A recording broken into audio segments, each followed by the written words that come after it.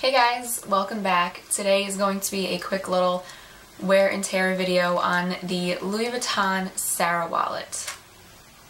So I got this wallet last June, so almost a year and a half ago, and I just got it in the regular monogram print. And so far I think it has held up pretty good. There's no wear or anything on the edges. I'm going to try to show you as best as possible. This is the front little snap closure. It looks pretty good. Not too many scratches. So opening it up, you can tell the front credit card slots have definitely like folded out a lot from just reaching in so much for my ID because this is where I keep my ID and my credit cards. So that's that. And also the back pocket. Um, this has definitely folded over a lot and I don't even like keep anything in here. But yeah, you can tell. The only thing that I even put in this back pocket is just my house key, like if I'm running out really quick and I'm not taking my car or all I need is just my key, I just slip it in here.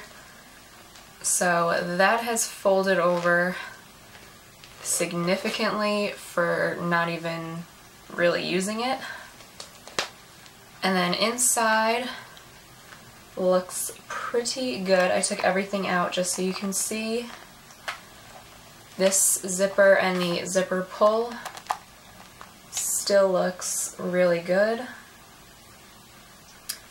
And then I'm not sure if you're going to be able to tell, but down here these little credit card slots you can tell are like super flat against the wallet compared to the other ones which I actually have cards in. These are more like puffed out. And also these on this side. They're not flat against the wallet anymore. But this is what the sides look like. So no like peeling or anything on the sides, which is good. Zipper, nice and smooth. So, I mean, everything still looks pretty good on the wallet. I mean, I've had no, like, real damage, just the normal, like, wear and tear.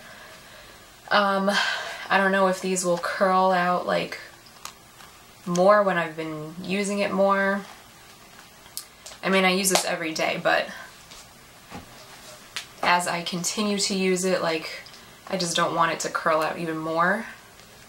And also the front, like, the edges, you can tell are, like, curling out a little and lifting up. You can see that there. It's not, like, flat anymore how it was when I first got it. So that looks like that from the side. But I mean overall for almost a year and a half I think it looks pretty good considering that I use it every day and I'm really not careful with it. Like when I'm reaching in for my ID I'm not like being delicate on I'm digging in there to get my cards out, especially if I'm in a hurry. So I think that's pretty much it. I mean, there's no scratches or anything on the canvas.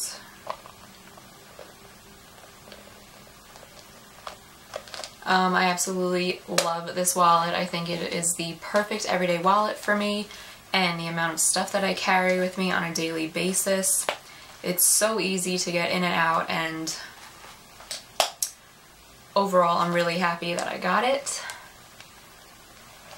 So hopefully you guys found this video um, a little helpful if you were thinking about getting it or if you do have this wallet, let me know in the comments below how yours is holding up and how long you've had it.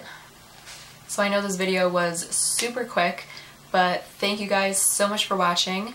Don't forget to subscribe and I will see you next time.